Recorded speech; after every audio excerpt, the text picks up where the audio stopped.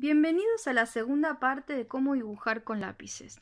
En la primera parte vimos cómo hacer un degradé de un color solo. ¿sí? Ahora en este caso vamos a ver cómo entremezclar estos colores. Para esto hay que tener en cuenta un par de cosas. Primeramente, que estos lápices de colores van a poder mezclarse entre sí al igual que la pintura. ¿Sí? ¿Qué significa esto? Que por ejemplo, si yo quiero pintar con verde, por ejemplo lo estoy haciendo acá, puedo dar primero una buena mano de este color y después puedo agregarle amarillo, en este caso es un amarillo limón, sobre el mismo que agregué recién y voy a generar un verde que va a tender o va a tener una tendencia a un color más claro. Esta superposición de colores va a dar un efecto distinto al que yo podría generar solamente con un lápiz, ¿sí?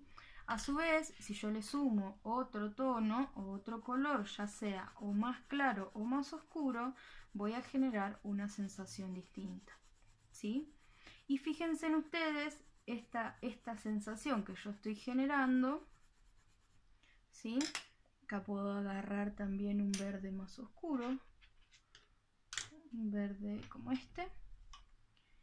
Y hasta puedo agregar un poco más de oscuridad, algún borde,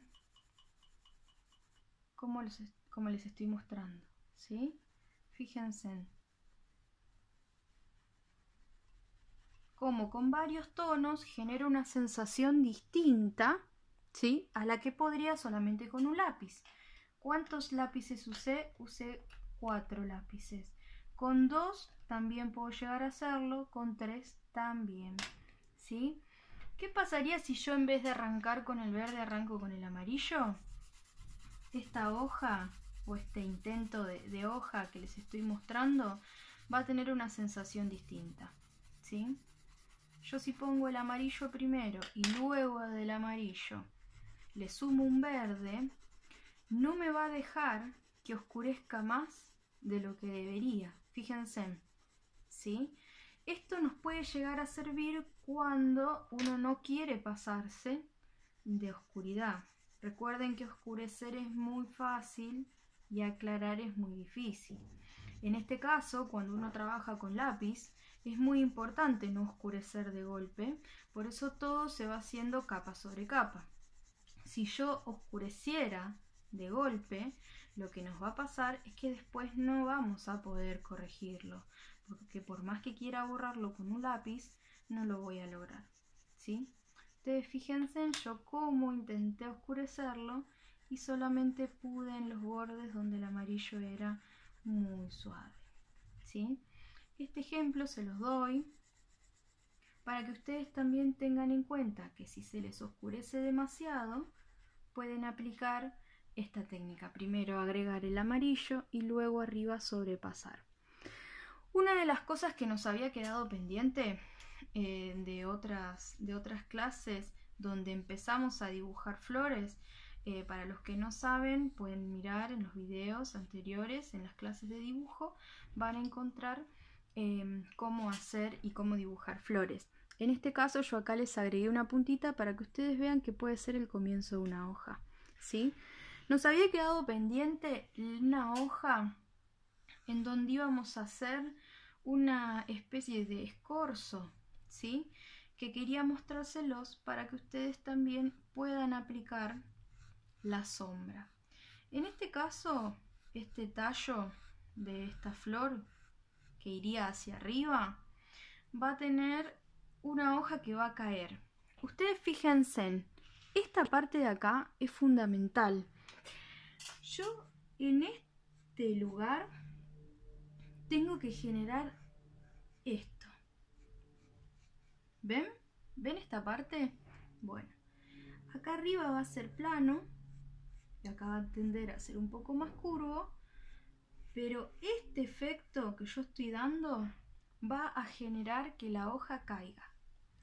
Estamos hablando de dibujo. Ahora, ¿cómo lo aplico con el color? Bueno, voy a agarrar el color más oscuro y el direccionamiento es este. Fíjense, se los voy a marcar un poco para que ustedes lo vean. ¿Lo ven? Es bien hacia abajo y curvo.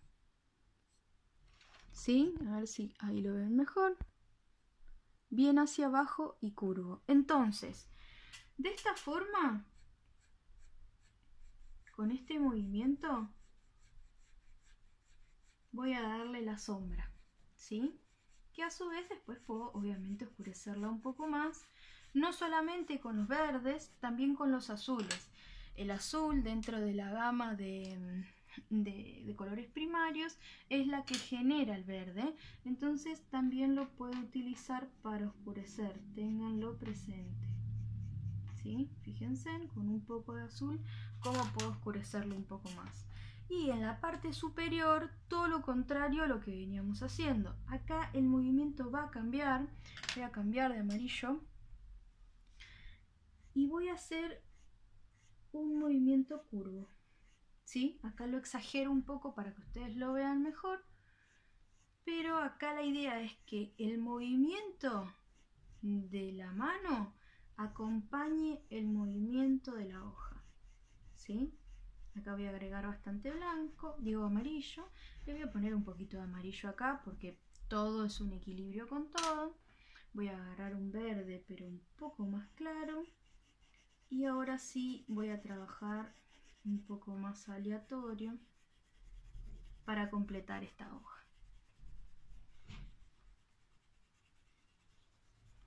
Espero lo puedan ver bien. Le pongo el verde y voy a agarrar ahora el color más oscuro ¿sí? fíjense que hice ¿no? le puse primero el amarillo un poco al propósito para que no se me oscurezca demasiado necesito que esta parte de acá arriba quede más clara que la parte de abajo vamos a fortalecer acá un poco la, la punta de la hoja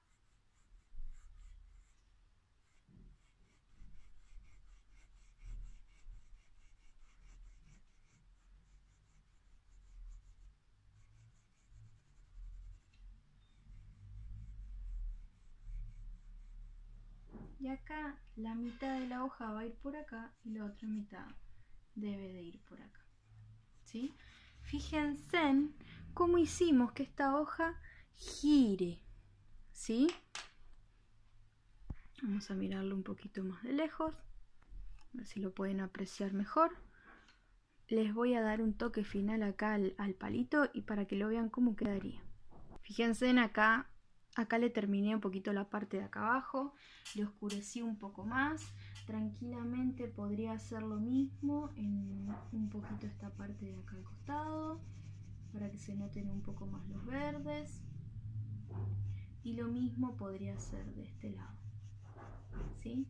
No quería dejar de mostrárselos para que ustedes vean cómo progresivamente vamos llevando a que la hoja genere esta sensación con el movimiento de nuestra mano, con el movimiento del trazo de nuestro lápiz. Eh, los lápices de colores, la realidad es que tenemos una, un abanico de posibilidades. Importantísimo empezar a generar estos movimientos que les voy a empezar a, a mostrar clase a clase y también empezar a practicar esta superposición. Importantísimo sería que ustedes puedan ir probando en casa cómo dos colores se pueden ir mezclando y qué tonalidades se pueden ir haciendo. ¿Sí? Como actividad sería muy productivo. Bueno, les mando un beso grande y seguimos con otra clase la próxima semana. Recuerden, estamos los viernes eh, trabajando y aprendiendo desde casa, a cuidarnos y, a, y aguantar un poquito más, que ya falta menos para que termine esta pandemia. Abrazo grande a todas y a todos.